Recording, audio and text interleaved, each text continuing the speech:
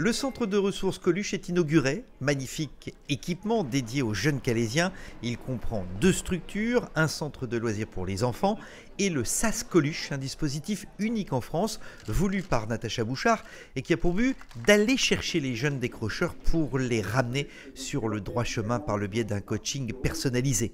Près de 8 millions d'euros, c'est le montant des travaux financés à 80% par l'État. Cette expérimentation hein, qu'on a mis en place il y a deux ans avec le SAS Coluche euh, trouve aujourd'hui son, aboutissement. C'était en fait une, euh, négociation, un échange euh, quand il s'est agi de devoir mettre à l'abri 450 femmes et enfants.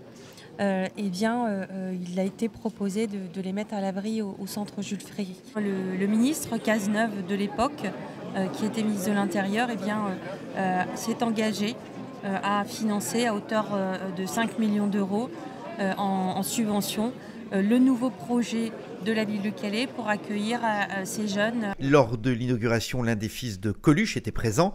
Il n'a pas caché son émotion et son admiration face à cette initiative. J'ai beaucoup de fierté de voir le nom de mon père associé à un projet aussi ambitieux, aussi courageux, aussi difficile à monter probablement et qui a nécessité beaucoup de solidarité. Ça va rendre service à plein de gens, euh, à plein de jeunes notamment dans la région de Calais. Le SAS Coluche qui fonctionnait déjà a pris possession de ses nouveaux locaux. Le centre de loisirs, lui, accueillera les premiers enfants dans quelques semaines.